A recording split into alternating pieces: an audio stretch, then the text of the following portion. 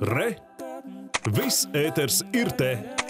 18. marts, domāju, diena, ko daudz Latvijas televīzijas skatītāji ir gaidījuši. Televīzijas pirmizrāde piedzīvos daudz arī mākslas filma Emīlija Latvijas preses karaliene. Filmas režisori Andis Mizišs, Kristīna Želve, Dāvis Simons un Gins Grūbe.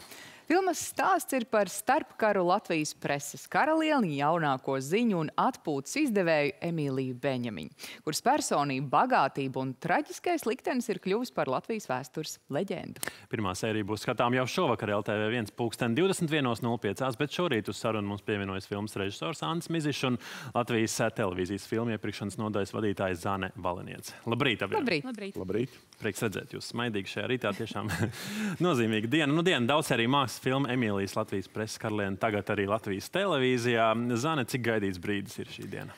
Es domāju, šis tiešām ir gaidīts brīdis visiem skatītājiem. Kā zināms, tad uh, daudz arī filmu jau piedzīvoja kino pirmizrādē, piedzīvoja pirmizrādes traumēšanas platformā, un nu ir kārta arī televīzijas pirmizrādē. Un uh, šī būs tiešām aizrautīga satikšanās, es gribētu domāt, uh, skatītājiem, jo šādi lieli, vēsturiski, nacionāli stāsti, tajā brīdī, kad tie satiek skatītāji, tas ir tas brīdis, kad šie stāsti kļūst spēcīgi. Uh, mēs veidojam rezonanci sabiedrībā, aicinām uz diskusiju, protams, uz empātiju, un uh, es domāju, tā ir tā lielā vērtība, kāpēc šāds stāsts ir jādod sabiedrībai. Cik pieprasīts ir šāds saturs mūsdienu skatītājiem? Daudz arī filmu vēl pašmāja. Jā, es domāju, Latvijas televīzijā šis tiešām ir viens no pieprasītākajiem saturiem vēsturiski, biogrāfiski stāsti, jo īpaši uz patiesiem notikumiem balstīti pa Latvijā ievērojamām personībām, spilgtām personībām, un, un, un, un, un šādi stāsti nenoliedzami pieprasīti.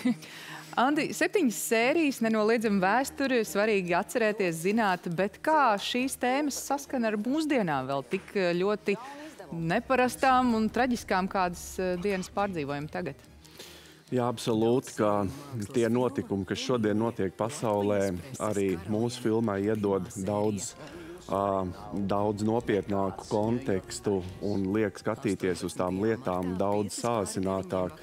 Un ja mēs labu laiku esam mazliet koķetējuši ar savu vēsturi un pat esam teikuši, ka ir jānomainās paudzēm un mums ir jāaizmirst tā vēsture un jāliekās mierā, tad mēs šodien redzam, ka mēs no tās vēstures nekur nevaram aizbēgt. Un tā vēsture mūs ir panākusi un viņa pat mums ir aizskrējusi priekšā.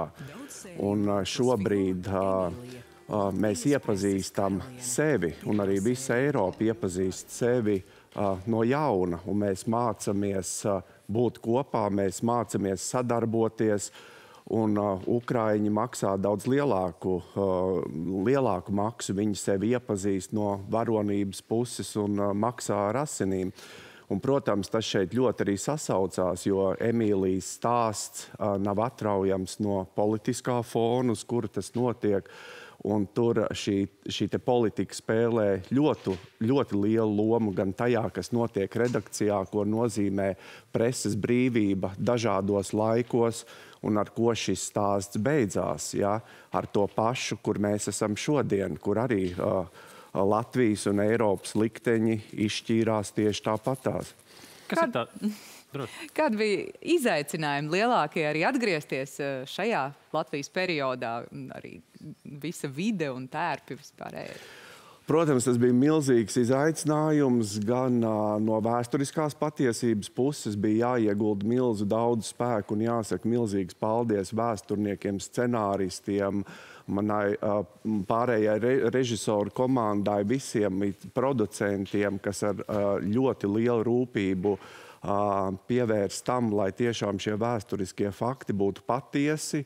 Un mēs zinām, ka neviens kino nevar pastāvēt arī bez interpretācijas vai bez tā, ka kādi uh, fakti ir jāpaspilgtina vai kas no cilvēku biogrāfijām jāizceļ, lai tā dramaturgiskā struktūra veidotos skatītājam interesanti. Un, protams, mēs esam arī atļaujušies dažas atkāpes un interpretācijas, bet, protams, mums šis vēsturiskais fons bija ārkārtīgi svarīgs.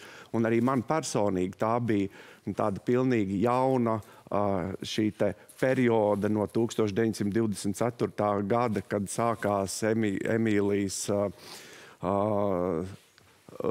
žurnāla atpūta, izdošana, jā, līdz pat uh, 39. gadam. Uh, tas man bija tāds jauns, ja, jaunatklāšana pašam priekš sevis. Vēl piebildīsim, tātad šodien pulksten 19. sabiedrisko mediju portālā LSM un Latvijas televīzijas ziņu, sociālajos ziņu tīklos. Tad būs skatām tiešais diskusija Emīlijas Beņaminas laikmets, kurā piedalīsies arī filmas režisāri. Un tad vakarā 21.05. LTV1 un replay pirmā sērija un tad katru piekdienu zaniem. Jā, tā septiņas piekdienas no vietas. Es arī aicinātu šodien tiešām skatīties šo diskusiju, jo skatītājiem būs iespēja uzdot jautājumus. Es domāju, tā būs tiešām vērtīga diskusija kā pašiem režisoriem, tā arī skatītājiem, jo diskusijas mērķis ir padiskutēt, kā tas attiecās uz mūsdienām, kā skatīties uz šo stāstu no šodienas skatu.